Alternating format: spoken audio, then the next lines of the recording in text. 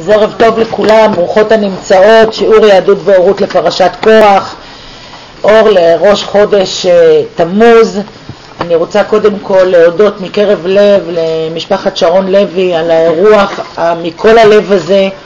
מי שלא רואה, אתם לא רואים איזה שולחן פתחו לנו כאן עם כל טוב מכל טוב, שהבית שלך תמיד יהיה מלא בכל טוב ומכל טוב, וברכה שתהיה לך, ובזכות מה שאת משפיעה עלינו, הקדוש ברוך הוא ישפיע עלייך ועל הילדים שלך.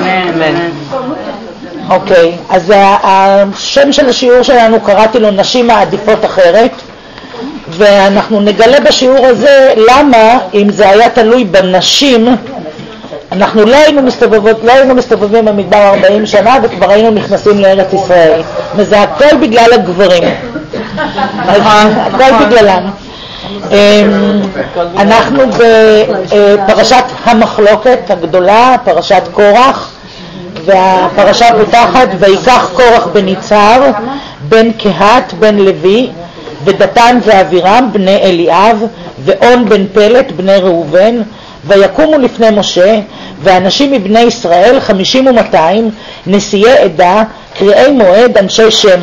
ויקהלו על משה ועל אהרון, ויאמרו עליהם, רב לכם, כי כל העדה כולם קדושים ובתוכם השם, ומדוע תתנשאו על קהל השם.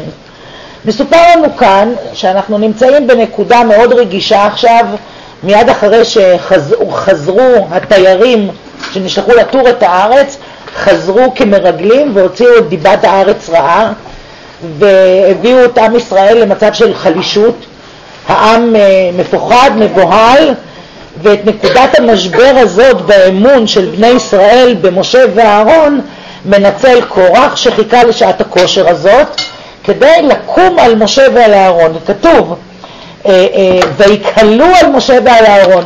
הוא וחבורה שלמה של 250 איש, שכולם אנשי שם, כולם אנשים גדולים מהשבטים, אה, בני אליאב, בני ראובן, באים ואומרים להם, למה אתם שמתם את עצמכם להיות ראש הקהילה? מי אמר שאתם? הרי הקדוש ברוך הוא הבטיח לנו במעמד הר סיני שכל העם קדושים, שכל העדה קדושה. למה תתנשאו? למה אתם מתנשאים עלינו? מחרחרים כאן מדון, מחרחרים ריב, וזה המצב שבו אנחנו נקלעים אה, בפרשה הזאת. ואנחנו גם יודעים שאין דבר שהקדוש ברוך הוא שונא יותר ממחלוקת. ואיך אנחנו יודעים את זה? החלוקה הזאת של משהו שהיה אמור שלם ואחד, לחלוקה לשני דברים, מבחינת הקדוש ברוך הוא, מבחינת התורה זה לא דבר חיובי. אנחנו יודעים שרק, אנחנו שרים הרי שהקדוש ברוך הוא ביגדל השם אחד ואין יחיד כייחודו. המהות של הקדוש ברוך הוא אחד, והקדוש ברוך הוא לא אוהב חלוקות, לא אוהב חלוקות של דברים שהם שלמים. כי מכיוון שיש לנו אחדות, אנחנו לא רוצים לחלק אחדות, אנחנו לא מחלקים דברים שלמים. ואנחנו לומדים את זה מתי? כבר ביום השני לבריאת העולם, אנחנו לומדים כמה שהתורה לא אוהבת מחלוקת. בסופו של כל יום של הבריאה, מששת ימי הבריאה, התורה חותמת, וירא אלוקים כי טוב. בסוף כל יום של בריאה, וירא אלוקים כי טוב. וביום השישי של הבריאה אפילו חותם, חותמת התורה, וירא אלוקים כי טוב מאוד, לא סתם טוב, אלא טוב מאוד. אבל ביום השני אין כי טוב, לא כי טוב, לא כי טוב מאוד, לא שום דבר. ביום השני לא קרה, האם זה נכון שביום השני לא קרה שום דבר שאפשר להגיד עליו טוב? למה לא נאמר ביום השני גם כי טוב? ביום הראשון אמר הקדוש ברוך הוא, ויהי אור, וראה כי טוב, וירא אלוקים את האור כי טוב, ויבדל אלוקים בין האור לחושך, וירא כי טוב, נכון? ומה קרה ביום השני? למה ביום השני לא? מה קרה ביום השני? על היום הראשון רש"י אומר, וירא אלוקים את האור כי טוב ויבדל, ולפי פשוטו כך פרשו, בדיוק כמו שכתוב, ראה כי טוב, אין נאה לו לחושך ולאור שיהיו מתערבבים בערבוביה. לכן זה טוב, הם היו מעורבבים בערבוביה, האור והחושך, והוא קבע לזה תחומו ביום ולזה תחומו בלילה, הבדיל והפריד ביניהם, ולכן זה טוב. לא טוב שיש ערבוביה. על היום השני כתוב, ויעז אלוקים את הרקיע, ויבדל בין המים אשר מתחת לרקיע ובין המים אשר מעל הרקיע, ויהי כן. מה עשה הקדוש ברוך הוא ביום השני? הוא לקח מים וקרע אותם לשניים. מים אחד הוא שם מעל הרקיע וקרא להם שם מים, המים הם שם, זה שמיים, והמים האחרים נשארו פה, קראו להם גם, אלה המים התחתונים ואלה המים העליונים. ורש"י כותב, מפני מה לא נאמר כי טוב ביום השני? הוא כותב, לפי שלא היה נגמר מלאכת המים עד יום שלישי והרי התחיל בה בשני, ודבר שלא נגמר אינו במילואו וטובו. אבל אנחנו יודעים שלא רק זה הסיפור, אנחנו רואים שיש כאן משהו הרבה יותר עמוק מזה. אנחנו רואים שגם ביום הראשון וגם ביום השני הייתה הבדלה, הייתה הפרדה. ביום הראשון בין אור לחושך, ביום השני בין מים למים. אבל מה ההבדל ביניהם? אור וחושך אלה שני דברים נפרדים, אלה שני דברים שהיו מעורבבים, אבל כל אחד ביניהם זה ישות בפני עצמו, זה אור וזה חושך. ההפרדה ביניהם, ההבדלה ביניהם היא טובה, כי לא טוב ששני דברים שהם בעלי זהות, כן. זהות משלהם, מעורבבים אחד בשני עד כדי כך שאי אפשר לדעת איפה ימין ואיפה שמאל, מי אור ומי חושך. צריך להבדיל ביניהם כדי שנדע זה זה וזה זה. אבל ביום השני נוצרה המחלוקת הראשונה שבעולם, כי ביום השני נחלקו המים לשניים, המים התחתונים והמים העליונים, ומאז עד היום המים התחתונים מתגעגעים למים שנפרדו מהם. והרבנית ימימה מלמד אותנו שגעגוע בא מהרצון לגעת, כי געגוע מורכב, מורכב מהמילה גע. הם רוצים לגעת, לגע, גע, גע, וזה הגעגוע, משם מגיע הגעגוע. זאת אומרת, המחלוקת של יום שני היא לא מחלקת מחלוקת לשם שמיים, היא לא מחלוקת שנועדה כדי אה, ללמוד, כדי להתפתח, כדי להגדיל את שם השם בשביל ללמוד תורה. נוצרה כאן מחלוקת של געגוע, של פירוד, שאי, שמח, של שני חלקים של שלם שלא יכולים להתחבר. והכאב הזה של הפרידה, על הכאב הזה של הקריאה הזאת, לא נאמר כי טוב. ומפה אנחנו יודעים שהקדוש ברוך הוא לא אוהב מחלוקת. אנחנו רואים גם את הדבר הזה, גם כמה הוא לא טוב בתוך זוגיות, שיש בני זוג לפעמים שמתערבבים אחד בשני יותר מדי, עד שלא יודעים מי זה מי זה, זה ומי זה זה, הכל עושים ביחד. לאנשים אין זהות משל... סליחה? אין, אין, אין, פה, הערבוב הוא כל כך גדול, זאת ערבוביה שכמו של חושך ואור. צריך לדעת שזה בן אדם אחד וזה בן אדם שני ולכל אחד מהם יש ישות משלו ואישיות משלו והעדפות משלו וזה בסדר גמור לא להיות אותו דבר. כי אנחנו לא זהים, אנחנו כל אחד משהו אחר, זה, זה חושך וזה אור למשל, זה לא אחד שנפרד לשתיים, זה לא בן אדם אחד שנחצה לשניים, אלה ש, שני אישיויות משלהם. אז גם בזוגיות אנחנו צריכים לשים לב, לא להתערבב יותר מדי אחד בשני. להיות כל אחד בפני עצמו, ואז העולמות נפגשים. אפשר, כל אחד מביא את העולם שלו ונפגשים, ומהמפגש הזה יוצא משהו שהוא הרבה יותר גדול מהשניים האלה, כמו למשל ילדים. יוצאים ממפגש של, של שני, שתי ישויות שהן שונות אחת מהשנייה, לא משתי ישויות שהן זהות אחת לשנייה. מזה לא יוצא ילד, מזה לא, מזה לא נולד פרי. אבל ביום השני הקדוש ברוך הוא לקח ישות אחת וחתך אותה והפריד אותה לשתיים. נכון? ואת זה אנחנו לא רוצים. זאת הפרדה כזאת, זאת, מחל... זאת חלוקה שהקדוש ברוך הוא לא, לא, לא אוהב. כתוב במדרש, בבראשית רבה, למה אין כתיב בשני כטוב? למה לא כתוב ביום השני כי טוב? כי על כל אחד מימות הבריאה כן נאמר כי טוב.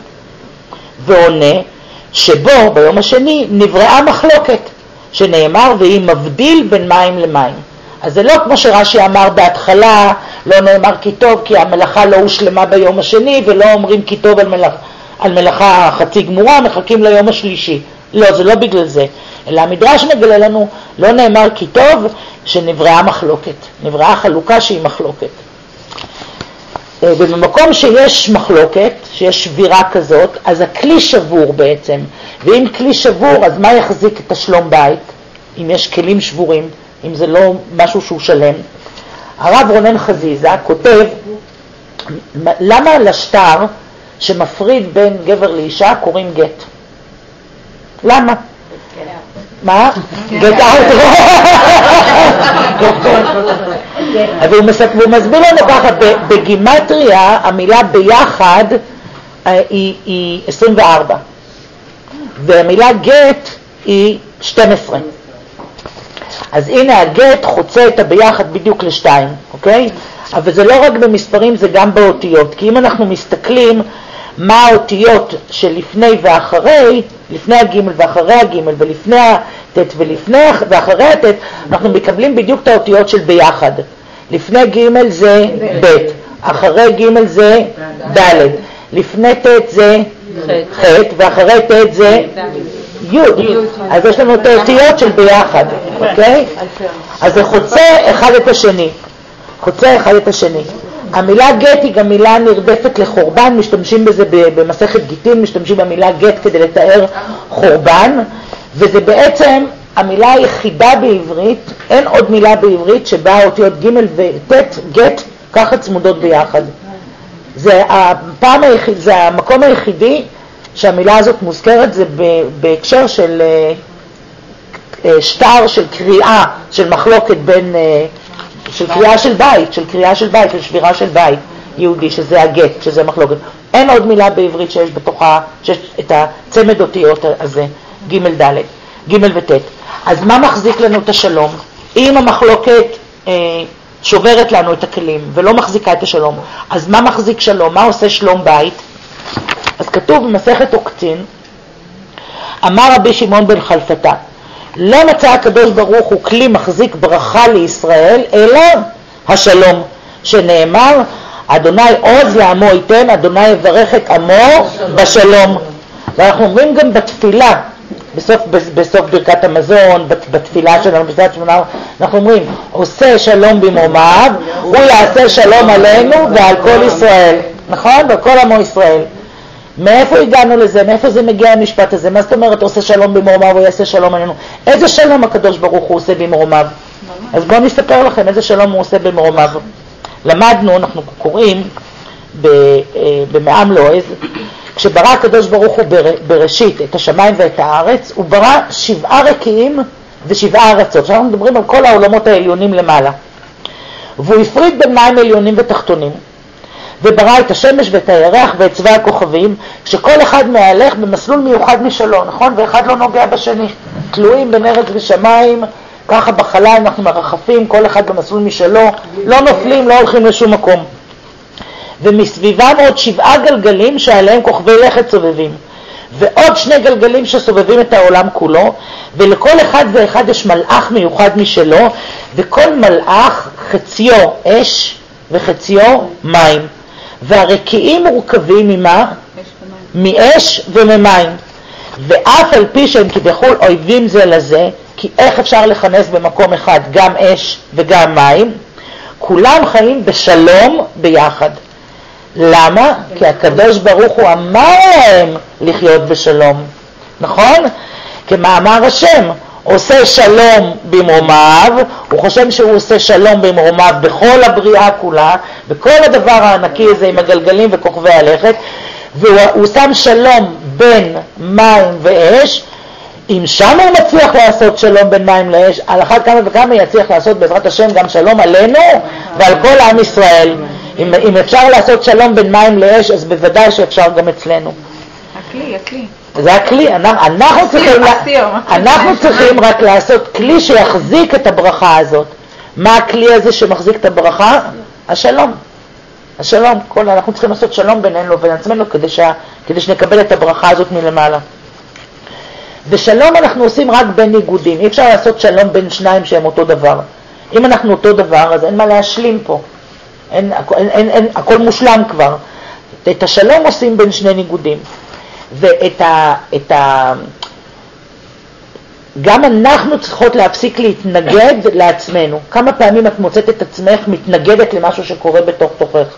לרגשות שלך, למחשבות שלך, למאוויים שלך, לדברים שאת רוצה לעשות, ואת אומרת, אני לא, אני לא אעשה את זה, יש, יש איזושהי התנגדות, זה לא יפה, זה לא ראוי, זה לא נאה, מה יגידו, מה יחשבו. בן אדם צריך ללכת עם האמת שלו, עם מה שהוא מרגיש. כמובן שאנחנו מדברים על ללכת בדרכי התורה, אבל לא להתנגד לדברים שמתרחשים בתוך תוכנו. כי אם אנחנו באמת מקשיבים לאמת שבתוכנו, היא אף פעם לא, לא רעה, היא אף פעם לא לרעתנו והיא אף פעם לא באמת לרעת מישהו אחר. כי במהות של כל בן אדם, אני מאמינה, אנחנו טובים. אנחנו מאוד מאוד טובים, וכל אחת ואחת היא מאוד מאוד טובה. והרצון האמיתי הוא תמיד לעשות באמת טוב למישהו אחר. אנחנו רק הרבה פעמים פוחדים. פוחדים שיצחקו עלינו, פוחדים שניפגע, פוחדים שזה לא יצליח, פוחדים שזה ייראה לא טוב, פוחדים שזה, לא יודעת, שמישהו יגיד לנו משהו. אבל אם הולכים עם האמת, באמת זה אף פעם לא יכול לעשות רע. ולא צריך, לא צריך לפחד ולא צריך להתנגד לה, לאהבה הזאת שמגיעה מבפנים. כי נשים יש להן המון מה לתת והמון אהבה, וצריך באמת לא להתנגד. המון אינטואיציה. כן, לא להתנגד. בפרשה הקודמת שסגרנו וקראנו בשבת, פרשת שלח לך, השליחים ששלח אה, משה לתור את ארץ ישראל התנגדו לתפקיד שלהם, הם לא הסכימו להיות תיירים, דיברנו על זה בשבוע שעבר, הם לא הסכימו לטור, הם לא הסכימו להסתכל בעין טובה על ארץ ישראל, זה תייר, תייר מסתכל בעין טובה, הכל יפה לו, האנשים יפים והבתים יפים והחורבות יפות, זה הכל יפה, גם הזבל ברחובות, הכל יפה, כשבאים כתיירים לטור באיזשהו מקום, הכל מקסים, נורא רומנטי, נורא יפה, נורא אותנטי. זה כשבאים כתיירים, אבל כשבאים כמרגלים, באים עם עין אחרת, באים לראות מה לא בסדר, איפה נקודות התורפה, איפה אפשר להחליש את המקום הזה, איפה אפשר להכניע אותו. אז הם נשלחו כתיירים, אבל התנגדו לתפקיד הזה, וחזרו כמרגלים, ראו בעין לא טובה. הם לא רצו לראות את הטוב, הם לא רצו לראות את הטוב שיש לארץ ישראל להציע. הם ראו רק, הם פירשו את המציאות לא נכון, הם ראו דברים ופרשו אותם לא נכון, כי הלב שלהם היה במקום הלא נכון. למדנו בשבוע שעבר שהמלבים מסביר שההבדל בין לטור לבין לרגל זה בכוונת הלב. כשמישהו מגיע עם כוונת לב טובה, הוא רואה טוב, כשמישהו מגיע עם כוונת לב לא טובה, הוא רואה לא טוב. והשבוע הקשבתי, זה היה שבוע, כן, לא, שבוע שעבר, הקשבתי, אחרי שכבר נתתי את השיעור בשבוע שעבר, הקשבתי לשיעור של הרב אה, שניאור אשכנזי. נפלתי מהשיעור הזה, לגמרי נפלתי. לפרשת שלח? לפרשת שלח. כי הוא שם מביא פירוש מופלא של הכלי יקר, שאני לא שמתי לב אליו, בשביל זה יש לנו את שניאור אשכנזי, רבי שלמה, רבי שלמה אפרים אה, זצ"ל, הכלי יקר. לציווי של הקדוש אה, ברוך הוא למשה, שלח לך אנשים ויתורו את ארץ כנען אשר אני נותן לבני ישראל. ככה פותחת הפרשה הקודמת. ולמדנו בשבוע שעבר את מה שרש"י פירש, הוא אמר, שלח לך, רש"י כותב, לדעתך, אני אינני מצווה לך. דיברנו על, על העניין הזה של כאילו גיל ההתבגרות, השווינו את התהליך של עם ישראל כמו גיל ההתבגרות של בן אדם.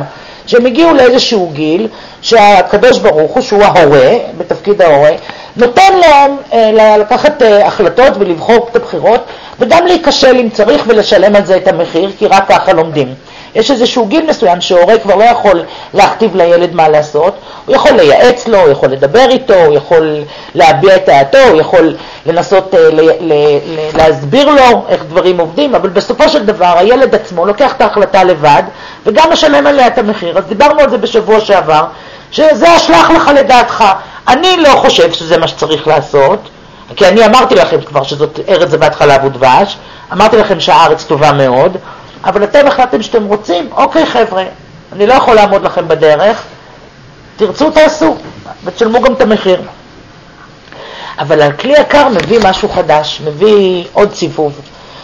והוא כותב ככה, לפי, אה, לפי ילקוט שמעוני, האנשים, שהוא מתכוון לגברים כאן, כן, הרי כתוב כאן, שלח לך אנשים ויתורו את הארץ. האנשים היו שונאים את הארץ, לפי מה אנחנו יודעים את זה? כי הם אמרו במדבר, באחת הפרשות הקודמות שקראנו, שקראנו, ניתנה ראש ונשוב במצרים, עדיין נמאס לנו מהמדבר הזה, ניתנה ראש ונשוב במצרים, לא רוצים ללכת לארץ ישראל. והנשים היו מחבבות את הארץ ואמרו, תנה לנו אחוזה. את זה אנחנו רואים בפרשה הבאה, שבנות צלופחד, אנחנו תכף נגיע אליהן, מבקשות אחוזה בארץ ישראל. ועל כן אמר הקדוש ברוך הוא, לפי דעתי, שאני רואה בעתיד, מה שאני רואה שהולך לקרות, היה טוב יותר לשלוח נשים המחבבות את הארץ, כי לא יספרו בגנותה. אבל לך, לדעתך, שאתה סבור שכשרים הם, שהאנשים הם בסדר, ואתה סבור שהארץ חביבה עליה, אוקיי, תשלח אנשים. וזה מה שכותב הכלי יקר, שלח לך. לדעתך, אנשים. אבל לדעתי היה טוב יותר לשלוח נשים. ובואו נראה למה. בואו נראה למה. הרבי מלובביץ', שביום שבת הקרוב אנחנו מציינים 25 אה, שנה לפ... לפטירתו, בג' בתמוז, כותב ככה, ידוע לנשים ובנות יתרון בכוח האמונה כפי שרואים במוחש. מה הוא אומר? הוא אומר, זה ידוע שלנשים, לבנות ולילדות ולנשים, יש להם יתרון בכוח האמונה. יש להם אמונה חזקה יותר משל גברים, וזה ידוע. ומה הוא אומר עוד? רואים את זה במוחש, תכף נראה איך אנחנו רואים את זה. לא צריכים הרבה לחשוב על זה, על הידוע הזה, כדי לראות דוגמאות במוחש, בתכלס, שלנשים יש להם אמונה חזקה יותר משל גברים. אבל הוא מוסיף ואומר, ואם זה לא מספיק לכם זה, של המוחש, הוא אומר, מרומז גם בכך שאמונה היא בלשון נקבה. לא אומרים אמון, אומרים אמונה. למה אמונה ולא אמון? למה? מכיוון שהאמונה שייכת יותר לבחינת נקבה. הכוח של האמונה, יש לו יותר כוח מבחינת נקבה. אנחנו יודעים הרי שהעולם נברא בעשרה מאמרות, אנחנו יודעים שהכל קשור למילים, לאותיות, למה שהקדוש ברוך הוא הוציא מהפה שלו. לכל דבר שיש לו שם, השם שלו מעיד על תוכנו, מעיד על הדבר. לא סתם אמונה, זה בלשון נקבה. אמונה בלשון נקבה מכיוון שאמונה שייכת, ליותר, שייכת יותר לנשים לנשים יש יותר כוח אמונה. אז אנחנו רואים כאן גם מהכלי, גם מהכלי יקר וגם מהרבי מלובביץ', שלקדוש ברוך הוא כנראה היה הרבה מאוד על מה להסתמך, שהוא אמר, אני חושב שצריך נשים, אתה חושב שצריך אנשים, בבקשה, תשלם את המחיר, ת, תנסו. ומה יצא לנו מזה? בכייה לדורות יצא לנו מזה שחזרו המרגלים ואמרו, ארץ אוכלת יושביה, כן? והעם פרץ בבכי, ואז אמר הקדוש, אתם בכיתם בכייה לחינם, אני אתן לכם בכייה לדורות, ונהיה לנו, מה נהיה לנו? נהיה לנו תשעה באב. פעמיים חורבן בית המקדש נהיה לנו. נהיה לנו גם בתשעה באב, גם היה פינוי גוש קטיף, שזה ב-2005 היה. כל החורבנים שלנו היו בתשעה באב. אז לזה כנראה חכמים התכוונו כשהם כתבו בזכות נשים צדקניות שהיו באותו דור, שהתכוונו לדור מצרים, נגאלו אבותינו, והם אומרים בזכות נשים צדקניות, הנה כולכן, עתידים ישראל להיגאל, בזכות נשים צדקניות. למה? כי נשים, כוח האמונה שלהם, יש להם יתרון בכוח האמונה שלהם. ובואו נראה דוגמאות, לא רק מה שאנחנו, איך אנחנו רואים במוחש, מתוך הפרשות שלנו, שתי הפרשות, ה, מתוך מה שלמדנו עד היום על נשים, על, על סמך מה אנחנו, מה זה המוחש הזה שעליו אנחנו מסתמכים. אז דבר ראשון, אה, מסעיף ראשון קראתי לו תחת התפוח. לעבודת הפרח שעבדו היהודים תחת המצרים היו תוצאות הרסניות. הגברים היה לא היה להם כוח להיות עם הנשים שלהם. ואם לגבר אין כוח להיות עם האישה שלו, אין יחסי אישות, ואם אין יחסי אישות, אין ילדים. אין ילדים, אין המשכיות לעם ישראל, זה הרסני. אבל הנשים של פעם היו נשים מסוג אחר, שאנחנו צריכות ללמוד מהן הרבה, כי הן היו נשים מאוד נחושות, מאוד מאוד נחושות, והן השתמשו בנחושת. מה הם עשו עם הנחושת? הם לקחו חתיכות נחושת ורקעו מהן מראות, והיו מתייפות מול המראות האלה, מייפות את עצמן, ויורדות לשדות לפתות את הגברים שלהם.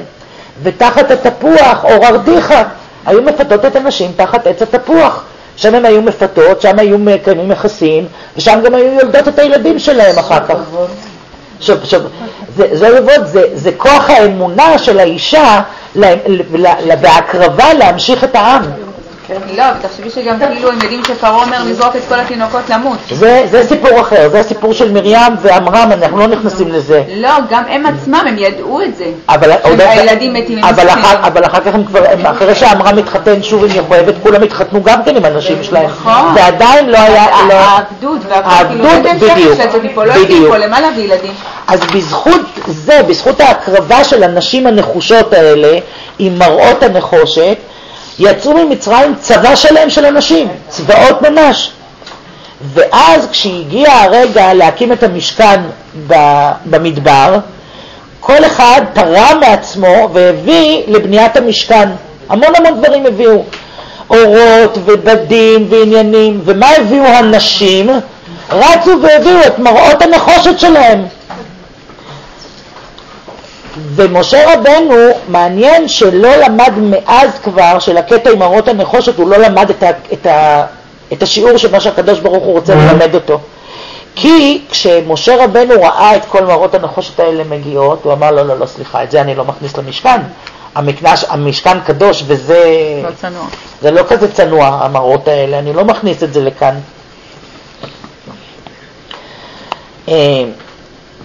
אבל הקדוש ברוך הוא כן רצה את המראות האלה. מה הוא אמר למשה? כתוב במדרש תנחומה, אמר לו הקדוש ברוך הוא למשה, מראות אלה אתה מבזה?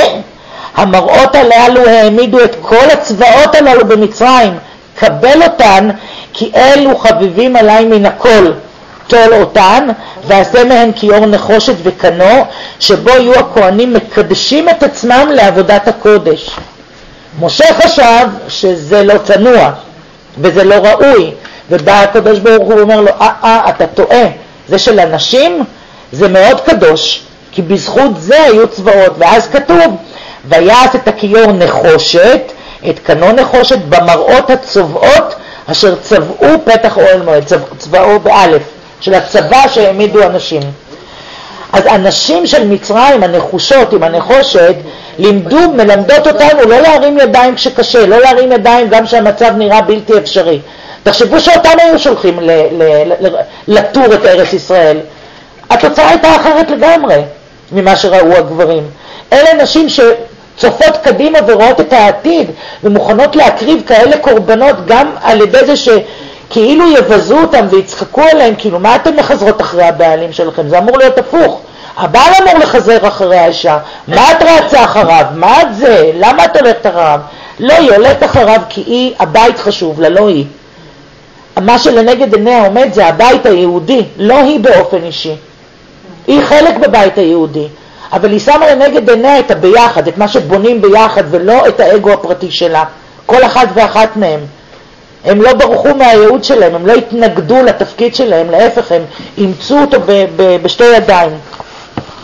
אז אנחנו גם צריכות ללמוד מזה, לא להשתבלל ולא להתמסכן, גם שנראה לנו שהבעל מתרחק ועסוק עם החברים שלו ובתחבבים שלו ובעניינים שלו ובעבודה שלו ובלא יודעת מה שלו, לא לחכות בבית חמוצות עם ה... עם.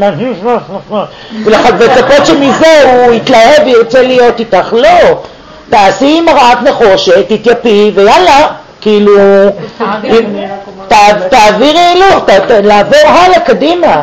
לא לפרק בית על שטויות כאלה. צריכים לפעמים להסביר להם, הם לא רואים נכון. הנה, תסתכלו על המרגלים. אין להם שכל בכלל. הם לא, חס ושלום, הם מאוד חכמים, אבל הם, לא, הם לא רואים, הם לא רואים את מה שאנחנו רואות, הם לא רואים, הם לא רואים, תחשבו על זה, לא חמורים, חומריים, חומריים, הם עשויים מאדמה. כן, אה, יש גבר מוסיפים, מאדמה הוא עשוי כן. גם אני. אז אה, סתם דוגמה על מה שהיא אומרת. סתם דוגמה, כן, לא עליי באופן אישי, אבל באופן כללי, ברור, מישהו אחר, של כן. מישהו אחר, אז יש בעל ואישה בבית, והבעל אמר לאישה, תקשיבי היום בערב, יש איזה חבר שלי שמגיע, 20 שנה לא ראיתי אותו, וכולי וכולי, אז כאילו, את יודעת, אולי תכיני איזה ארוחה, משהו נחמד, לקבל אותו. בקיצור, אז... אז uh, החבר הגיע, והאישה, איך שהבעל פתח את הדלת לחבר, האישה כבר קלטה בבת הראשון של העין שלה, שזה וואחד ממזר, כאילו הוא הולך לשחק לנו פה איזה קטע. כאילו היא קלטה את זה אוקיי. שלו. והבעל, כן, והבעל במשך הערב אמר לאשתו בשקט, כאילו בצד, אל תדאגי, הוא מותק, הוא, אני מכיר אותו מאז שהייתי ילד, גדלנו בשכונה.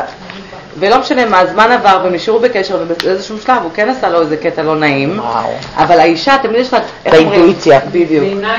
בינה, בינה יתרה. כן, בינה יתרה. more sharp, like the eye, כן. like it catches. כן. אז, אז אני תמיד מספרת אה, לבנות, איפה שזה יהיה זה יהיה. אני תמיד מספרת, סבתא שלי, זיכרונה לברכה, תמיד אתה אומר לי, תקסקסי אותו, קסקסי אותו, זה בקפקזית, קסקסי אותו, קסקסי אותו. סבתא, מה זה לקסקס איתו? היא הסבירה לי, את צריכה לעשות ככה שהוא יעשה מה שאת רוצה, אבל יחשוב שהוא חשב על זה לבד. זה לקסקס אותו. ככה צריכים להביא את זה ביד, ימין לאוזן שמאל, קסקסי אותו, קסקסי אותו. תחכי שהוא ייכנס הביתה, תעשי לו ארוחה טובה, שיירגע, שיהיה לו בטן, שירגיש טוב, ואז תקסקסי אותו. תסדרי שהוא יעשה מה שאת רוצה. עוד פעם, זה החוכמת נשים. חוכמה של נשים, תחשבו על זה רגע. לאישה אין ציווי להתחתן. אין מצווה שאישה צריכה להתחתן. למה לאישה אין מצווה להתחתן? אבל? אבל אישה אין לה מצווה להתחתן. למה, אז מה זה פורגו? הוא ובו זה משהו אחר, אבל להתחתן יש מצווה על הגבר. על כן יעזוב איש את אביו ואמו, אבל אין, אין מצווה על האישה להתחתן. למה? אנחנו לא צריכים שיצוו עלינו. כל אחת מגיל אפס תכנן את החתונה שלה. חתונה כבר מתי, כבר יגיע היום? אישה צריכה שיצוו עליה להתחתן? מה פתאום? אבל, גבר צריך לצוות עליו.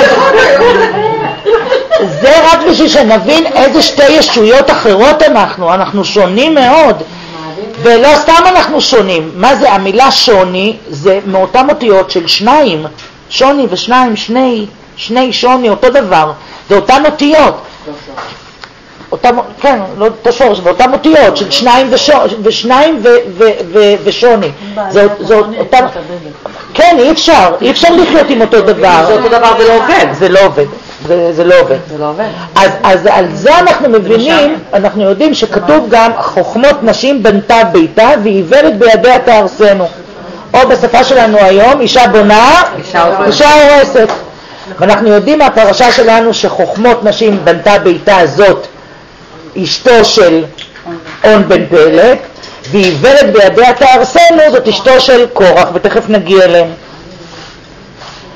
אה, הרב דוד אלטשולר כותב חוכמות נשים, כל אחת מהחוכמות שבנשים בנתה את ביתה. מה שהוא רוצה לומר, היא מעמידה את ביתה על הבסיס. לא סתם קוראים לאישה עקרת הבית. עקרת הבית זה לא כינוי גנאי, להפך, זה בא מהמילה עיקר. האישה היא עיקר הבית, ואפילו כתוב בתורה, אשתו היא ביתו. זאת אומרת, בית בלי אישה זה לא בית, זה סתם ארבע קירות, זה לא בית. כדי שזה יהיה בית צריך שיהיה שם יד של אישה. והאישה זה עיקר הבית. אישה זאת שנותנת את הטון, אישה זאת שנותנת את הנשמה, אישה זאת שנותנת את ה... את הנשמה, את הנשמה של הבית, זה, זה, אם האישה איננה, כן. דבילית, אבל שאומרים אין אחרת בית, אין שאלות זה דביליות. לא כוונה שאישה כאילו שבבית לא עובדת? זה לא... אז אני אשאל אותך, להיות בבית זה לא עבודה? זה פקטורי הבית. אם היו לוקחים מישהי לעשות את ה... נשים אחרות, עובדות, לעשות את מה שאישה עובדת בתוך הבית שלה, את יודעת כמה נשים היו צריכות בשביל זה? כמה עובדות?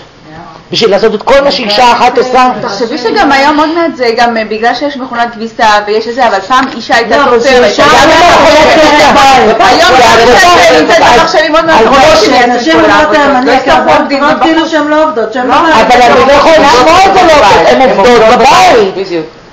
הן עובדות כן. בבית. מישהי, לא. בקיצור, השנות השנות הקדמה, לקחו את עקרת הבית כשם גנאי. וזה לא, וזה לא, ממש לא. וזה ממש לא. כי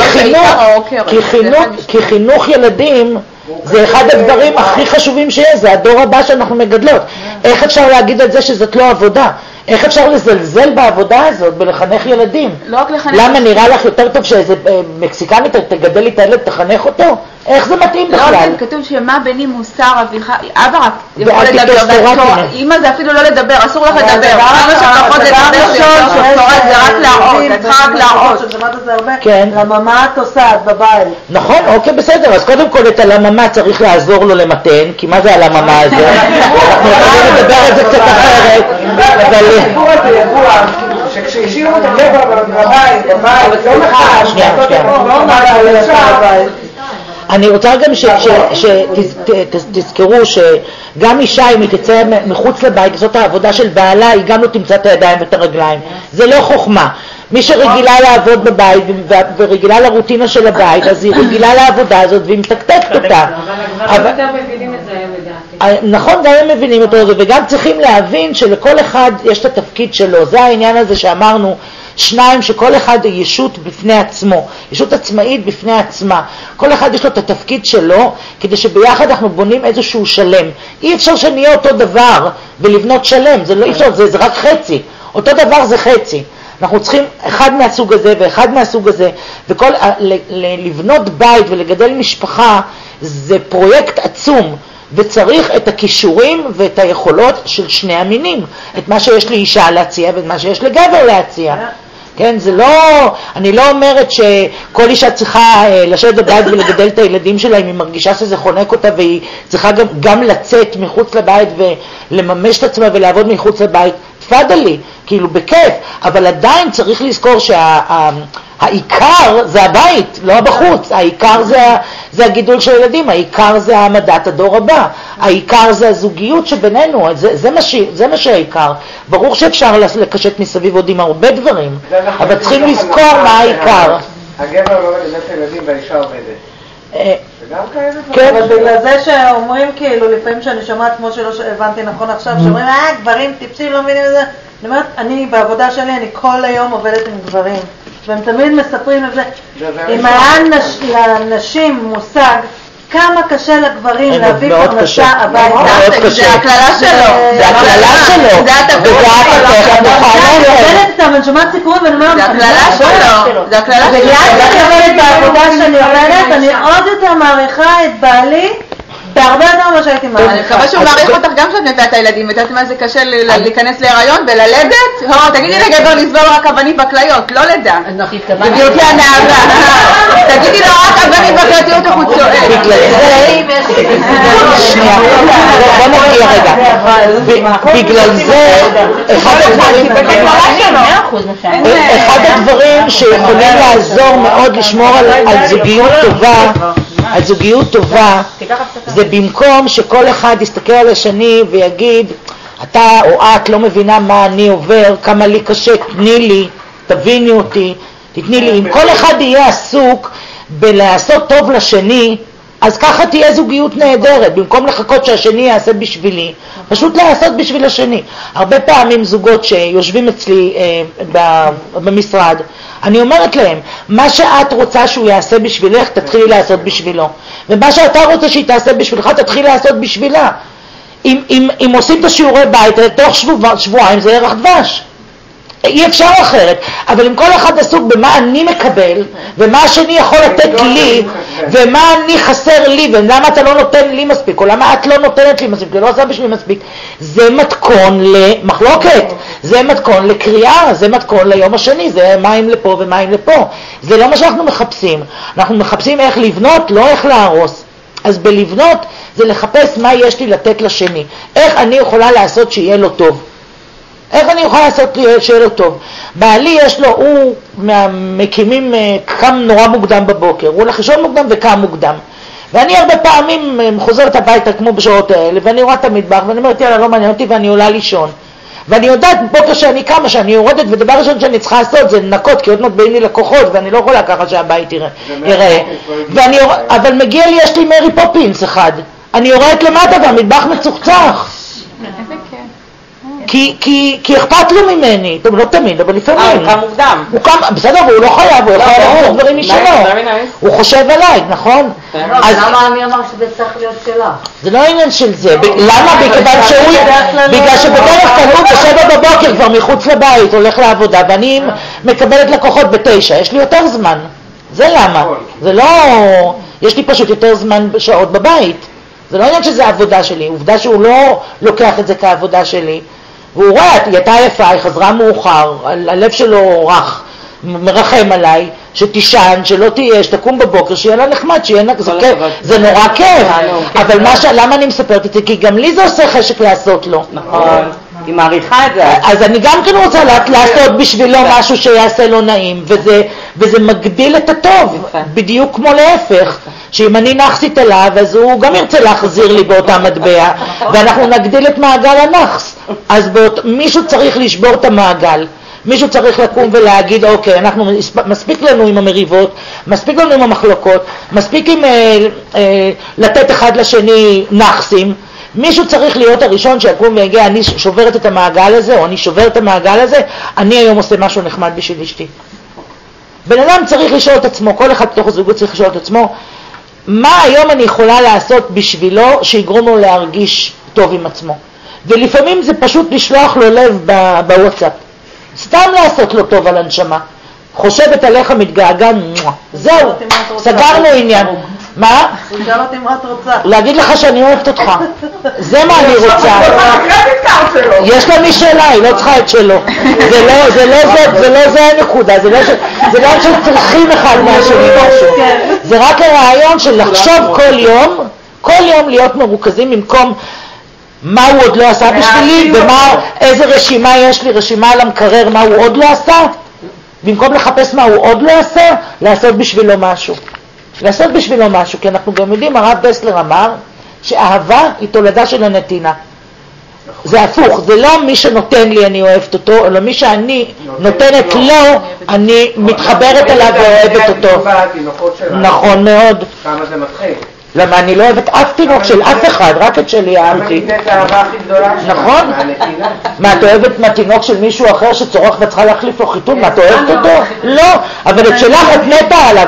חושבת שהוא יפיוף, מלך היופי, מקסים, והקקי שלו אבל בריח זה לא ששנים. מהתינוקות נשמה, את צריכה לאהוב את בעלך בלי שום קשר לילדים. לא, לא, הנתינה מתחילה מהאישיות של לא מהבעל. דיברנו על זה, אמרתי, אנחנו רואים את זה במיוחד בנתינה הזאת.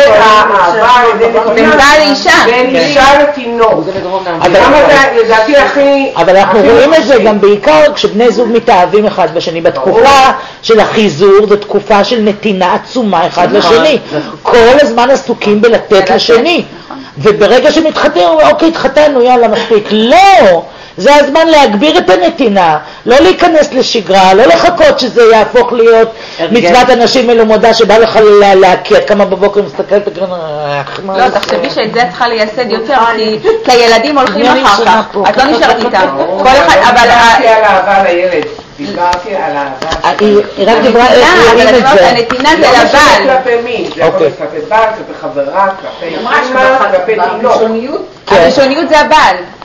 אז אחד הדברים, לפני התינוק. דיברנו על אהבה שבנתינה. היא רק דיברה איפה רואים את זה, תמי, איפה זה רואים את זה. לא... כמו. כאילו, לא, לא, לא, היא אומרת שכשמטפלים בתינוק, אוהבים אותו. דרך הנתינה לתינוק, דרך הטיפול, לא מתאהבים בו, נכון?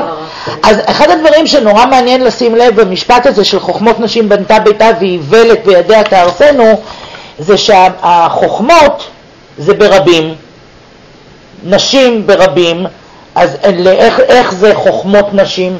חוכמות, נש, חוכמות נשים בנתה ביתה, חוכמות ונשים זה ברבים, בנתה ביתה זה ביחיד. איך זה מסתדר? מה הרעיון פה? אז יש כל מיני פירושים, אני יכולה לתת לכם את הפירוש שלי. אני, הגעת, אני זה הפירוש שלי, שאני הבנתי מזה שאני, כדי לבנות את הבית הפרטי שלי, שלי צריכה להשתמש בחוכמות של כל הנשים. ללמוד מכולם. לכל אחת יש מה ללמד אותי, לדורות הקודמים יש מה ללמד אותי, לשרה אימנו יש מה ללמד אותי, זאת אישה, לרבקה יש מה ללמד אותי, לרחל יש מה ללמד אותי, ללאה יש מה ללמד אותי, לרחב יש מה ללמד אותנו המון, לא הספקתי להגיע אליו, חבל, חבל מה אני אעשה, אי אפשר הכל. לסבתא שלי היה מה ללמד אותי, לאימא שלי יש מה ללמד, חברות שלי, כל אחת ואחת שבאים איתה במגע או קוראים אליה או נמצאים, יש מה ללמד. אז כל החוכמות האלה של כל הנשים האלה זה כוח עצום, זה מאגר ידע עצום, שאיתו אנחנו לוקחים אותו ועם זה כל אחת בונה את הבית שלה. אבל את אף פעם לא לבד, כי יש לך את כל החוכמות של כל הנשים. אז אם את מספיק נבונה להשתמש בכל החוכמות האלה, אז את בונה בית. אבל אם את אבלה, איוולת, כן, אז את הורסת את הבית, ואנחנו נראה איך. אנחנו נראה איך. זה גם מעניין לראות שבכל התורה כולה אנחנו לא מוצאים לא איך קראו לאשתו של און בן פלט, ולא איך קראו לאשתו של קורח, ויחד עם זה משחקות תפקיד כל כך חשוב. וזה למה, זה גם מחשבה שלי, שאני חושבת שגם בכל אחת מאיתנו יכולה להיות זו או זו. ויש לנו תמיד את הבחירה במי אני בוחרת היום. האם אני בוחרת היום להיות אשתו של קורח, או האם אני בוחרת להיות אשתו של און בן פלט. מה אני בוחרת להיות? האם אני בוחרת לבנות היום, או האם אני בוחרת להרוס היום? זה הכל בחירה שלי. יש לנו כאן את הבחירה, בגלל זה אולי אין שמות של איך קוראים להם. תודה.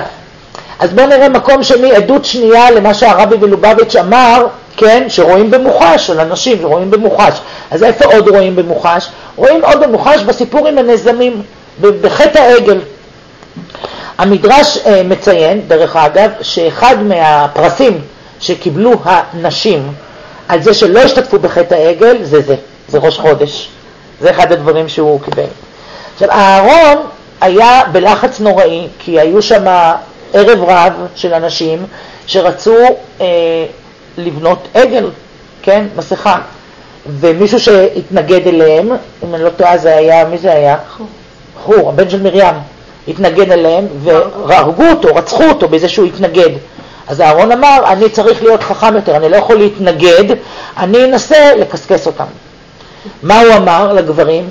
לכו לנשים שלכם ותבקשו מהם את כל התכשיטים שלהם ותביאו לי את התכשיטים שלהם ומזה נעשה את חטא העגל, מזה נבנה את העגל. למה הוא שלח אותם לנשים? כי הוא ידע שהם לא ייתנו לו את התכשיטים. נשים לא ייפרדו כל כך מהר מהתכשיטים שלהם, לא כל כך מהר נותנות. כתוב להם, ויאמר אליהם אהרון, פירקו נזמי הזהב אשר באוזני נשיכם, בניכם ובנותיכם, והביאו אליי. הוא ביקש מזה למשוך זמן, אוקיי?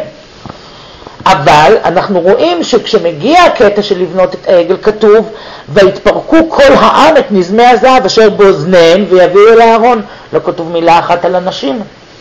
הגברים הוציאו את הנזמים שלהם ואת החיטים שלהם ואת כל הפירסינג שלהם והביאו לאהרון להתיך, להתיך את זה ולבנות מזה את העגל, אבל את הנשים, הנשים לא מוזכרות. למה? כי הנשים לא נתנו את התכשיטים שלהם. לא הסכימו לקחת חלק בתועבה הזאת של חטא העגל. אולי הם לא הסכימו בגלל שהם לא רצו את התכשיטים ואולי אנחנו לא יודעים בדיוק, אבל אנחנו יודעים שהם קיבלו שכר כפול. כתוב במדרש נתן להם הקדוש ברוך הוא שכרן בעולם הזה, שהן משמרות ראשי חודשים יותר מן האנשים, זאת אומרת ראש חודש שייך לנשים יותר מאשר לגברים, ונתן להם שכר לעולם הבא שהן עתידות להתחדש כמו ראשי חודשים. יש הרבה עניין של האישה, אנחנו דיברנו על זה בשיעורים קודמים, של ההתחדשות הזאת של כל חודש, של מחזור הירח, של אישה שמתחדשת, של העונה, ואנחנו לא ניכנס לזה עכשיו, אבל זה, אחת, זה השכר שלנו. יש לנו יום חג, שהנה אנחנו היום חוגגות אותו, מאוד יפה. הדבר השלישי שאנחנו רואים, גם כן מהפרשות שלנו, במוחש, כן, את, את, את המוחש הזה של היתרון הכוח האמונה שיש לנשים, זה בנות צלופחד. אחרי שהסתיימה חלוקת ארץ ישראל לכל השבטים, מתקרבות למשה חמש נשים, שהן היו הפמיניסטיות הראשונות בהיסטוריה, חמש נשים עם שמות מאוד יפים, ואמרו למשה את אותן מילים שאמרו לו לפני שתי פרשות, הקבוצה של הנשים שרצו לחגוג פסח שני. הם פספסו את הפסח הראשון, כי או שהם היו בדרך ארוכה, או שהם היו טמאי מת ולא יכלו להקריב קורבן פסח, ובאו ואמרו למשה, למה ניגרע לבלתי יקריב את קורבן השם במועדו בתוך בני ישראל? למה גרועים מאיתנו?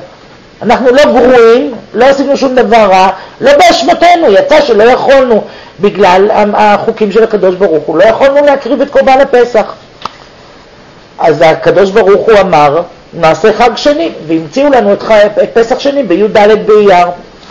ובנות צלופחד באוזן משתמשות בדיוק באותן מילים ובעוד ואומרות לו, למה ייגרע השם אבינו מתוך משפחתו כי אין לו בן? תנה לנו אחוז, אח, אחוזה בתוך אחרי אבינו.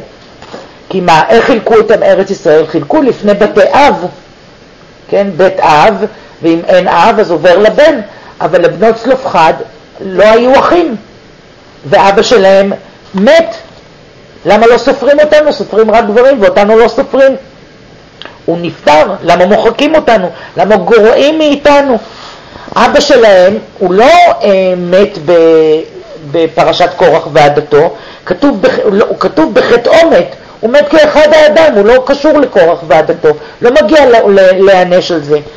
ואבא שלהם בא ממשפחה טובה, זה היה צלופחד בן חפר, בן גלעד, בן מחיר, בן מנשה למשפחת מנשה בן יוסף. הוא היה צאצא של יוסף, בא ממשפחה טובה, יש פדיגרי טוב. למה מגיע להם לא לקבל אחוזה בארץ ישראל בדיוק כמו כל שאר בתי האב?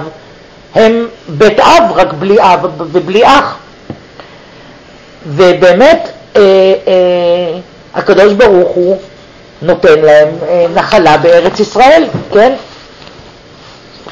אה, היו להם שמות נורא יפים. היה, קראו להם מחלה, נועה, חוגלה, מלכה ותרצה.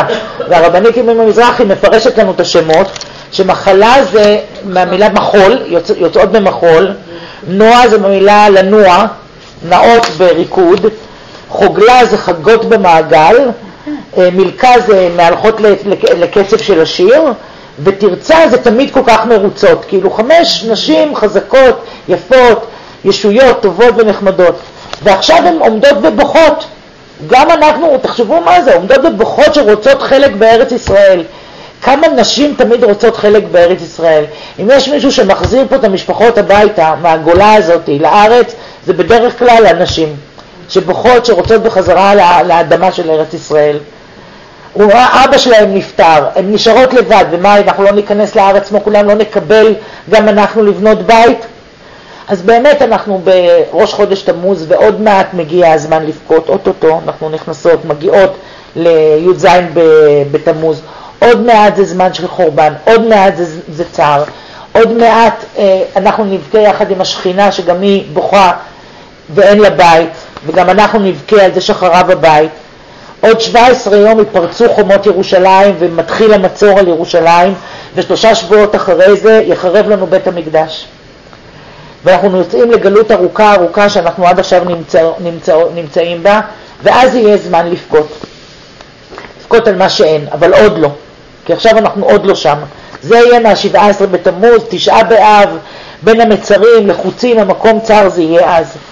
אבל עכשיו אנחנו עוד לא בוכות, כי אנחנו עוד לא ב-17 בתמוז, ואנחנו לא בוכים בכייה לחינם, כמו שבכו עם ישראל, שהמרגלים גרמו להם לבכות על זה שהם הבהילו אותם.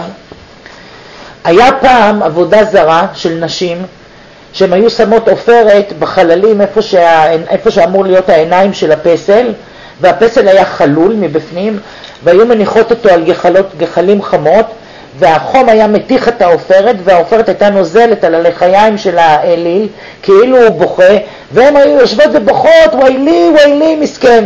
זה קוראים, בו, שם הנשים יושבות מבכות את התמוז. זה היה עבודה זרה. אנחנו רואים איך שם של עבודה זרה נהיה שם של חודש. איך זה נהיה ככה? מה? בגלל שעל פי אה, אה, חודש תמוז שייך ליסוד של מים. ואולי בגלל זה גם יש תמיד בעונה הזאת המון תביעות ויודעים להיזהר בשלושת השבועות, לא ללכת לים, לא להיכנס למים, להיזהר מברכות, להיזהר מהים בין י"ז בתמוז לתשעה באב. זה לא תקופה טובה, אבל אנחנו יודעים גם שמים, ובמיוחד ים, זה הסתרה. אנחנו יודעים שמה שאנחנו רואים מלמעלה זה כלום, רואים איזה משטח גדול, אבל מתחת זה עולם שלם של, של חיים, ועוד אומרים שכל מה שיש מתחת לים יש גם בעולם הזה. שזה ממש עולם מתחת למים, כמו שאנחנו פה מתחת לשמיים חושבים שאין שום דבר מעל השמיים האלה. כמו שהדגים למטה בים גם חושבים שאין כלום מתחת, שם בקצה. כלום אין שם. אין, אין שום דבר. נגמר להם העולם. הם לא יכולים לצאת החוצה, להסתכל. בדיוק כמו שאנחנו לא יכולים לעלות מעל השמיים בחיים האלה ולראות שיש שם עולמות שלמים של, של, של קדושה ומלאכים וקדוש ברוך הוא. אנחנו לא, לא רואים. אז כמו, כמו הים שמכסה, גם העולם שלנו מכוסה, הגילוי האלוקי מכוסה, ובגלל זה קוראים לעולם עולם, מלשון נעלם, אבל בתוכו אפשר לגלות, כן? אפשר לגלות את, את, באיזה אופן? כי בחודש תמוז ניתנה לנו היכולת לראות את הפנימיות שבכל דבר, ולהפוך את העניינים הבלתי חיוביים לחיוביים. על ידי מה? על ידי זה שאנחנו מאפשרים להערה העליונה להיכנס לחיים שלנו. עוד פעם, אנחנו מדברים על כלים, אנחנו עושים את הכלים האלה מוכנים לקלוט את כל האורות האלה. אנחנו מכניסים את האלף של אלופו של עולם לתוך הגלות ומקבלים גאולה. זה הסיבוב של חודש תמוז. גם הפרשות שאנחנו קוראים במהלך חודש תמוז, אנחנו נראה את זה, אלה פרשות שאנחנו מוצאים היפוך לטובה. כמו למשל אה, פרה אדומה, שאנחנו קוראים, נקרא בפרשה, לא, פרשה הבאה, בפרשת חוקת, זה, פר, זה משהו שהופך מטומאה לטהרה, זה היפוך. אחר כך אנחנו בפרשת בלק שומעים על הקללות של בלעם שהפכו לברכות, עוד עניין של, של אה, היפוך. ולפי הקבלה כל חודש יש חוש אחר ששולט בו, והחוש של חודש תמוז הוא הראייה. אז אנחנו עכשיו צריכים להתעסק בראייה, בלראות לא רק מה שנראה לנו, אלא לראות את הבפנוכו של הדברים, להסתכל פנימה אל תוך הדברים, ממש לשקוע בתוכם, ולגלות את מה שנעלם בפנים, אם רק רוצים לראות. זה עניין של בחירה.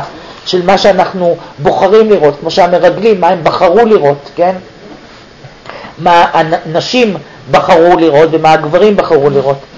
אז הראייה אנחנו למדנו עם, המר, עם המרגלים וגם עכשיו עם קורח, שאיך שאנחנו מסתכלים על הדברים יכול או לרומם אותנו או להפיל אותנו, תלוי בתוך הראייה שלנו. אנחנו יודעים גם, אה, אה, ראינו, שלמדנו על, אה, במגילת אסתר, על המן הרשע, הוא היה מזרע עמלק, והיה לו בעיה רצינית בראייה, לא ראייה ממש של משקפיים, אלא ראייה פנימית. למה? הוא בחנופה, בשקרים, מצליח לעלות ולהיות משנה לאחשוורוש. אין ב-127 מדינות פרס ומדי בן אדם חשוב יותר ממנו חוץ מהמלך אחשוורוש, ועדיין, בכל פעם שהוא עומד ליד שער, עובר ליד שער הארמון, וכל עבדי המלך אשר בשער המלך קוראים ומשתחווים להמן, כי כן ציווה לו המלך ומרדכי לא יכרע ולא ישתחווה. כולם, הכל יש לו להמן, הכל מהכל, עשיר בעשירים, משנה למלך ששולט על 127 מדינות, אבל מרדכי לא משתחווה לו, ומה הוא אומר? ויצא המן ביום ההוא שמח וטוב לב, וכראות המן את מרדכי בשער המלך, ולא קם ולא זע ממנו, וימלא המן על מרדכי חמא, הוא יוצא מדעתו. למה? כולם משתחווים חוץ מהמן, חוץ ממרדכי. כל מה שהוא רואה בראייה הלא טובה שלו, זה שמרדכי לא קורא ולא משתחווה. הוא לא רואה את כל שאר הדברים הטובים שיש לו, הוא רואה רק את הנקודה הקטנה הזאת שזה לא מושלם, זה לא פרפקט. ומה הוא אומר? בכל עת אשר אני רואה את מרדכי היהודי בשער אבמלך, והוא לא קורא ולא משתחווה לי, כל זה אינו שווה לי. הכל לא שווה לי, הכל לא טוב. כמה ילדים כאלה אתם מכירים? הכל נותנים להם. מפה, מאלף עד תף, כיד המלך נותנים להם.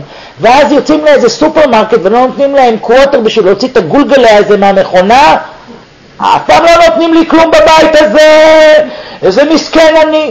למה זה? מה זה הכל זה אינו שווה לי? בגלל שדבר אחד לא מקבלים? זה ראייה מעוותת של המציאות. אי אפשר להסתכל על זה ככה, גם קורח מסתכל ככה על זה. הוא אומר, אני מגיע לי להיות הבא בתור.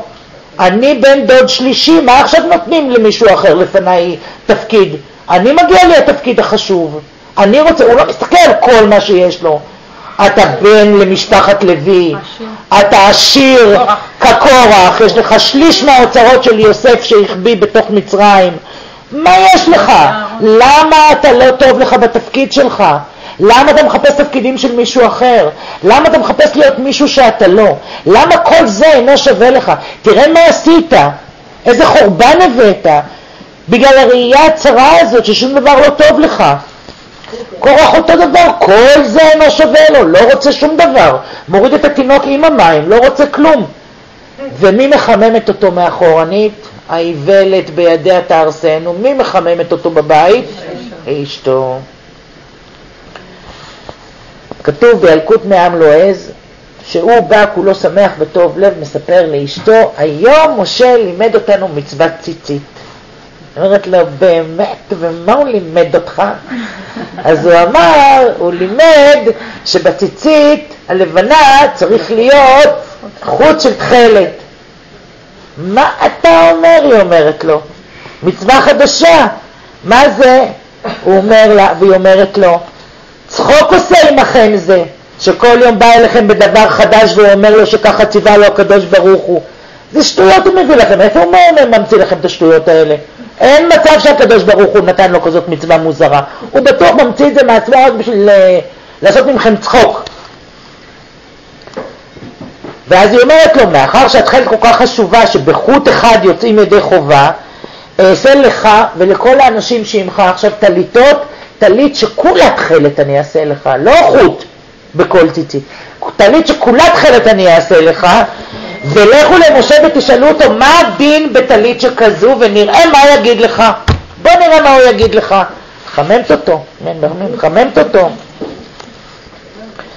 ואז הוא אומר, ואז הוא אומר, ואז היא אומרת לו, ואתה תראה שכל הדברים הוא בודה מליבו.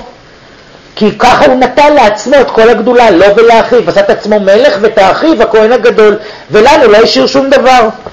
ולבני אחיו עשה סגני כהונה, ואתה מה זה שסוחב את, ה, את הקרשים של המשכן, כאילו מה, למה? הוא היה נושאי הארון. כן, אבל ב... אבל הארון. כן, אבל היא אומרת לו, בקרשים אתה נוגע, אתה לא נוגע בארון. נכון, אבל זה להרים אז נתן לך, נתן, היא לא אומרת לו, נתנו לך לסחוב את הארון, נתנו לך את הקרשים של הארון. היא מסתכלת בעין לא טובה להסתכל על הדברים. ולא רק זה, אלא הוא גם אומר לכם לתת מעשרות. מה? הכולו לוקח ממכם, עושה לכם צחוק.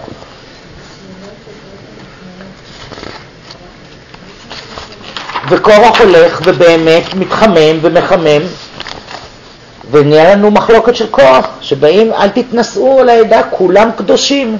מה, מי אתם חושבים שאתם? סחב איתו חבורה של 250 איש, שהאדמה פתחה את פיה ובלעה את כולם. אבל מי ניצל? אחד שהיה איתו בהתחלה, און בפלט, אבל בסוף, בסוף הפרשה הוא איננו. למה? כי לא כל האנשים כאלה, לא כל הנשים כאלה. יש נשים שהן מסוג הנשים האחרות, אלה של תחת התפוח, אלה של הנזמים, אלה ש... האחרות, אלה שרוצות, תנה לנו אחוזה בארץ ישראל, אלה נשים אחרות, מה, שלא רוצות מחלוקות, שרוצות ביחד, כן? מי זאת? אשתו של און בן פלט. מספר לנו ילקוט, ילקוט מעם לועז, איך אשתו של און בן פלט הצילה אותו מההפכה. שהיא ראתה שבעלה הולך להתחבר עם אנשים לא טובים, עם קורח ועדתו, היא אמרה לו, בשביל מה אתה, בשביל מה לך, מה, מה שווה לך? אם משה הרב שלך, אתה גם כן העבד שלו, ואם קורח יהיה, יקבל את התפקיד, גם תהיה העבד שלו, מה אכפת לך? וגם אתה העבד, לא שווה לך, עזוב, מה, לא צריך, מה יצא לך מכל זה? סתם קורח מחמם אותך בשביל עצמו, אתה תשאר באותו מקום, לא שווה. ואמר לה, וואי, אוהלה, אבל איך אני יוצא מזה עכשיו? עוד מעט הם יבואו לקחת אותי, מה אני אעשה? וואלה, לך לישון, כנס לאוהל, תעשה את עצמך ישן, אני אדאג לעניינים. סגרה את הפתח של האוהל, התיישבה בפתח האוהל ופרעה את שערו, הורידה את הכיסוי ראש ופרעה את השערות שלה. ישבה התחילה להסתרק. אמרה, אני, לא, אני למדה, למדתי מתמר מה עושים. אני, אני אשב ואסרק את השערות שלי. הגיעו החבורה, מרחוק הם רואים את אשתו של און בן פלט יושבת בפתח האוהל עם הראש גלוי ומסרק את השיער, אמרו עד כאן, עד כאן, אסור לראות, אסור להסתכל, עשו אחורה פנה והלכו, וככה הוא ניצל. זה הסיפור של הזה. אז איך היא הצילה אותו? יש אישה אחת שהחוכמה שלה בונה את הבית, ואישה אחרת שהאיוולת שלה הורסת לה את כל, את כל הבית, את הכל. כי אשתו של עוד בפרק היא הבינה מה הפרופוגנדה של אה, קורח, היא הבינה מה הוא רוצה לעשות. אז זה ממש חוכמות נשים בנתה ביתה ואיוולת בידה תהרסנו. כתוב שעשרה קבין של שיחה ירדו לעולם, קבין זה מידה, מידה. ותשעה נטלו נשים. מסכנים הגברים נשארו עם אחד. נכון. זה בשביל שהם יגידו לנו, אהה, כן. אנחנו נדבר. אבל נשים אין להן ברירה, הן חייבות לדבר, אי אפשר, אנחנו לא מסוגלות לא לדבר. אבל מה אנחנו מדברות עם הפה הזה, ומה אנחנו עושות עם הפה הזה, זה כבר תלוי בנו. הכל זה תלוי בנו. הכוח בלשון, אם אני עושה עם הלשון הזה טוב, או עושה עם הלשון הזה רע. זה יכול להיות חיצים, וזה יכול להיות דבש, תלוי מה אני מחליטה לעשות עם הלשון הזאת. פיה פתחה בחוכמה ותורת חסד על לשונה. תלוי מה האישה מוציאה מהפה שלה. והמלך אה, שלמה חכם מכל אדם אמר כבר מוות וחיים ביד הלשון ואוהביה יאכלו פריה. זה תלוי מה אנחנו עושים, איך אנחנו מבטאות את החוכמה הזאת שאנחנו, אז זה לא בידיים שלנו, זה בפה. זה מתחיל מהפה. ואני בעיקר מדברת אליי, לא אליכם בכלל. אני כבר סיפרתי לכם פעם, שפעם בכיתה ג', בכיתה ג', המורה שלי שאלה אותי, מאיה גנזל, שואלת אותי, סמדר, למה יש שיניים בפה? אני אובר חוכם הייתי מזמן, אז אמרתי לה לאכול, כאילו מה? זה לא אני, לא מותק שלי, לעצור את הלשון. כן, אמרה, אז אני מתאמנת, אני מתאמנת. מתאמנת. אז זהו, אז אנחנו עלינו, עלינו על השקר, הבנו את השקר, אנחנו צריכים להבין קורח זה אותיות של קרח, זה אותיות בחילוף, זה רחוק, זה, זה, זה, זה רחוק מהשם, קורח רחוק מהשם, רחוק וקרח. אז אנחנו אוהבות לעשות דברים שמחברים דברים, דברים שלוקחים ועושים ביחד, אנחנו נשים לא אוהבות מחלוקות, ורואים את זה כבר בגיל, בגילי הגן, שמסתכלים ועוקבים על סגנונות משחק של בנים ובנות, רואים את זה מיד, ממש כמו שרבי מלובביץ' אומר, במוחש, ממש רואים את זה. בנות שהן משחקות, הן ישר משתפות פעולה. הן מתרכזות סביב נושא אחד, סביב נגיד משחקות בבית, אז ישר יש מישהי שלוקחת אה, פיקוד, את תהיי אימא, את תהיי ילד, את תהיי התינוק, את תהיי הסבתא, והן כולן משחקות ביחד, משתפות ביחד פעולה. אצל בנים לא רואים את זה. בנים יכולים לשבת כולם ביחד עם הקוביות, לבנות, כל אחד יבנה את שלו. לא בונים בניין ביחד. או עם המכוניות. כל אחד זה ז'ין, ז'ין, ז'ין, אבל הם לא נוסעים ביחד. מקסימום התנגשו, זהו. זה השיתוף. זה, זה לא בגלל שזה יותר טוב מזה. זה פשוט אחרת, זה פשוט בנויים אחרת. יש לנו בפרשה הקודמת מצווה שהיא המצווה הראשונה שניתנה לבני ישראל בכניסה שלהם לארץ ישראל, וכתוב ראשית הריסותיכם חלה תרימו תרומה, כן? מראשית הריסותיכם תיתנו להשם תרומה.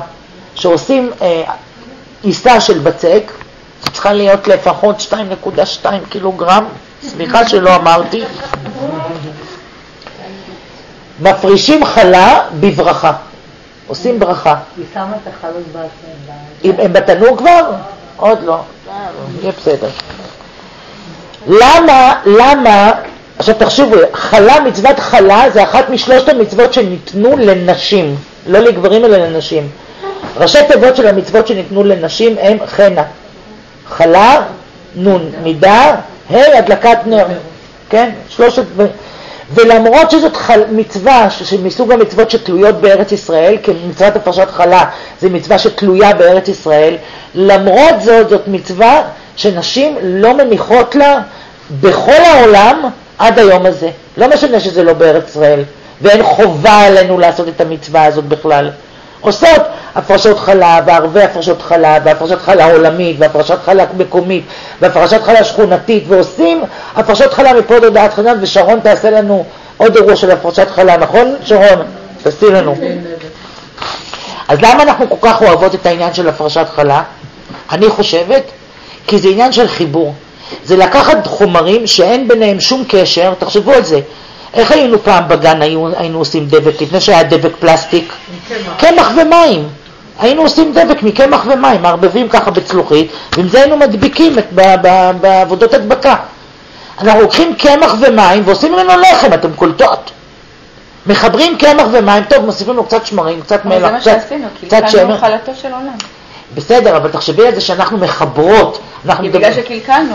עזבי את הקלקלנו עכשיו, אני לא מדברת על קלקל, אני מדברת על מחברות, אנחנו זאת ההפך ממחלוקת, אנחנו מחברות, מחברות קמח עם מים ושמן וסוכר וטיפה מלח ומה עוד? שמרים? ויוצא לנו לחם. לחם שלם יוצא לנו, זה לא להאמין.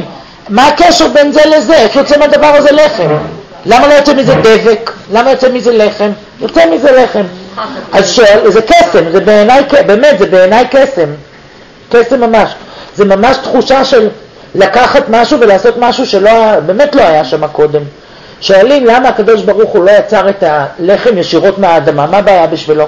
עשה לנו קלמנטינה ישר מהאדמה, קיבי ישר מהאדמה, מלון ישר מהאדמה. למה לא עשה לחם ישר מהאדמה? מה הבעיה? למה? זה גם מתקשר לנו לשיעור שעבר. נעשה אדם כצלמנו וכדמותנו. מה זאת אומרת נעשה אדם? מה למדנו שבוע שעבר? מי זוכרת? נעשה, הקדוש ברוך הוא אמר לאדם עצמו, את, לא למלאכים, לאדם, אתם, אתה ואני נעשה ביחד אדם. אני עושה ממך גוף, אבל אתה תעשה מעצמך בן אדם. עליך העבודה להיות בן אדם. אתה צריך לעשות מעצמך בן אדם. גם פה הקדוש ברוך נותן לנו הזדמנות להיות שותפים ביצירה על אמת. זה כמו שלאישה יש את הזכות להיות שותפה ביצירה של חיים חדשים, גם זה סוג של חיים חדשים, זה ליצור משהו חדש שלא היה בו קודם. לא היה שם קודם. כי מאותו לחם, מאותו, סליחה, מאותו בצק אפשר גם לעשות אה, בבקה. ועדיין יוצא מזה לחם, זה באמת, זה קסום בעיניי הדבר הזה. אני חושבת על זה, אם תשימי לב לאיזה מצוות אלו נתנו לעשות, זה נרות, חלה ומידה. זה, אני חושבת שזה המצוות הכי נחמדות שאפשר לתת לאישה. כי אם את שמה לב מה זה נרות, זה אור. מה זה נידה זה איכות ביחד? מה זה חלה כל הבית מריח טוב? זה המצווה הכי נחמדה שהשם הביא לאישה לעשות. נכון, נכון, אני באמת גם חושבת שזכינו. תחשבו, יש 11 שלבים מרגע הזריעה עד רגע שאנחנו מגיע, מביאים את הלחם לשולחן, וכנגד 11 השלבים האלה יש לנו גם 11 מילים בברכת, בברכת אה, מוציא לחם מן הארץ. ברוך אתה השם אלוקינו מלך העולם המוציא לחם מן הארץ, אמן. 11. אנחנו אומרים לחם, לחם לבב אנוש יסעד. בתוך הלחם הזה ש, שכל אחת עושה בבית ולשה את הבצק ומכניסה בפנים את כל התפילות שלה ואת כל הבקשות שלה ואת כל הברכות שלה ואת כל החלומות שלה בתוך הלחם הזה ואין, ואת כל האהבה שלה ואין מצב שמי שאוכל את הלחם הזה לא מרגיש את זה. אין דבר כזה. זה הלחם של אימא, זה לא יעזור שום דבר. וילד ש... אה, יש לי ילדים שעובדים בסופי שבוע בבתים של, הם אה, עוזרים לילדים שהם נכים וכאלה. אז הם תמיד, אמא אפשר לקחת חלה, אמא אפשר, כי זה כאילו זה כמו לקחת חתיכה מהבית יחד איתם, לאכול, לא יכולים להיות בבית, אבל לפחות uh, ייקחו איתם את החלה. אני רוצה להגיד משהו, כן. לחם גם מלשון מלחמה, להוציא לחם להוציא, להוציא את המלחמה, להילחם עליו. להוציא את המלחמה. להוציא את המלחמה, אוקיי. אוקיי, שיהיה שלום. אז אנחנו אה, היום, אה, יש, יש עניין בערב ראש חודש להדליק נר, כל אחד שתגיע הביתה, אם היא רוצה להדליק נר זיכרון, אה, שישאר דולק ל-24 שעות ומחר בערב עוד נר זיכרון אחד שידלוק בערב.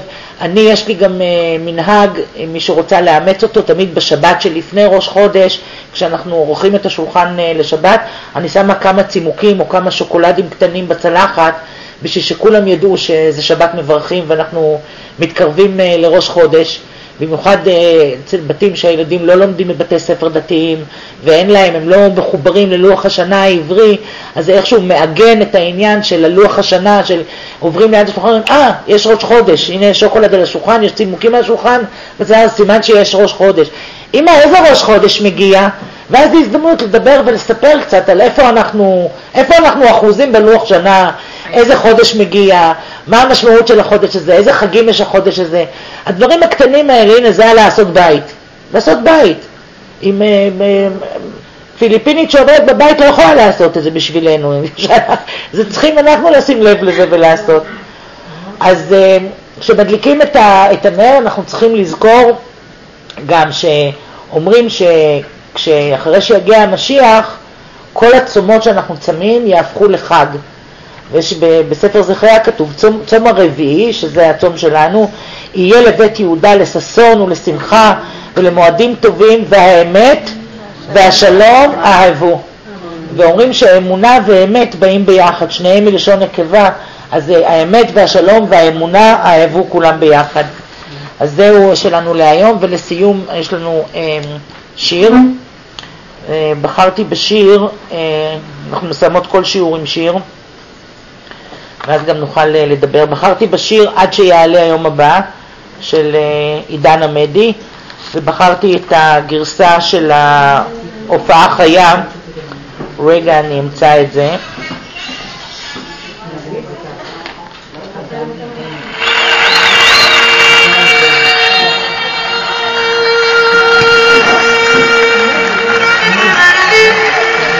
אני אקריא לכם את המילים בינתיים עד שזה יתחיל. עד שיעלה היום הבא, ישוב השקט, כבר לא אשאל אותך מאיפה באת, רק אשמח שאת פה. את אלפי המשוגעים שבעולם הם על מחוץ לדלת, אוהב אותך כמו שחלמת, כמו השיר ככה פשוט. עד שיעלה היום הבא תשוב השמש ותאיר את שתי עינייך הטובות, שייאשתי משום מה. אני אלמד לומר מילים גדולות על בית, על דרך, אלמד לומר שמצטער, שאם תלכי אין לי דבר.